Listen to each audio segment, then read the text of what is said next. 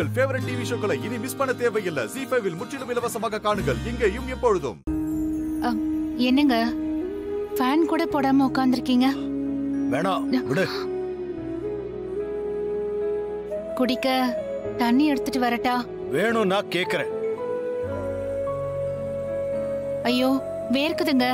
தொடச்சுக்கோங்க. ஏய் உனக்கு என்ன வேணும்? என்ன சொல்லணும்னு வந்திருக்கியோ அத சொல்லு.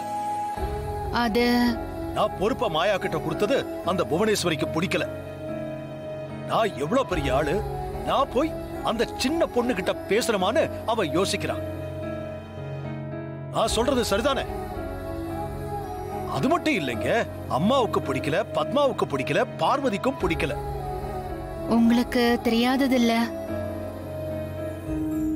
கல்யாணங்கிறது எல்லாருமா சந்தோஷமா சேர்ந்து பண்ண வேண்டிய விஷயம். எனக்கே ஆச்சரியமா தான் இருக்கு. இவ்ளோ பெரிய விஷயத்த நீங்க எப்படி அவகிட்ட ஒப்படைச்சீங்கன்னு? அவளை வீட்டுக்குள்ளேயே வர வேணாம்னு சொன்ன ஒருத்த இன்னைக்கு அவளை நம்பி இவ்வளவு பெரிய பொறுப்ப ஒப்படைச்சிருக்கேன்னா அதுக்கு நிச்சயமா ஏதாவது ஒரு காரணம் இருக்கும்னு ஏன் என் பக்கத்துல இருக்கிற நியாயத்தை யாருமே யோசிக்க மாட்டேங்கிறாங்க? அவங்க எல்லாருமே மாயாவ இன்னும் பழைய மாயாவாவே பாக்குறாங்க. நான் மாயாக்குள்ள நடந்த மாற்றத்தை தான் பாக்குறேன். வாழ்க்கை அவளுக்கு பல சோதனைகளை வச்சது. பல பரீட்சைகளை வச்சது. அதுல எல்லாத்துலயுமே அவ ஜெயிச்சு நம்ம குடும்பம் நம்ம கௌரவம்னு பிடிவாதமா நிக்கிறான் இன்னைக்கு இங்க இருக்கிறவங்க எல்லாம் நாளைக்கு ஒரு இக்கட்டான சூழ்நிலை வரப்போ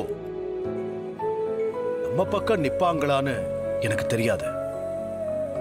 அது தனாவா இருக்கட்டும் சீனுவா இருக்கட்டும். ஆனா மாயா இதையெல்லாம் தாண்டி நம்ம கூட நிப்பான்னு என்னால உறுதியா சொல்ல முடியும். இதையெல்லாம் தாண்டி என் மனசுக்குள்ள தோணுன ஒரு காரணத்தை சொல்லட்டுமா? சொல்லுங்க. நமக்கு ஒரு பையன் இருந்திருந்தா அவன்தானே இந்த கல்யாணத்தை நம்ம ஸ்தானத்துல நின்னு நடத்திருப்பான்?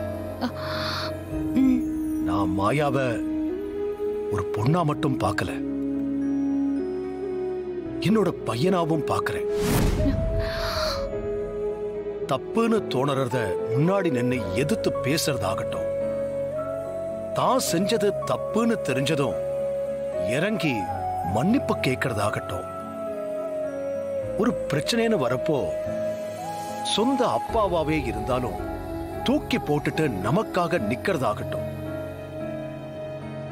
எனக்கு ஒரு பையன் இருந்தா அவன் எப்படியெல்லாம் இருக்கணும்னு நான் ஆசைப்பட்டேனோ அந்த ஆசையோட வடிவமா மாயா இருக்கா? ஜி ஃபைவ் ஆப்பை டவுன்லோட் செய்து அனைத்து எபிசோடுகளையும் இலவசமாக பாருங்க.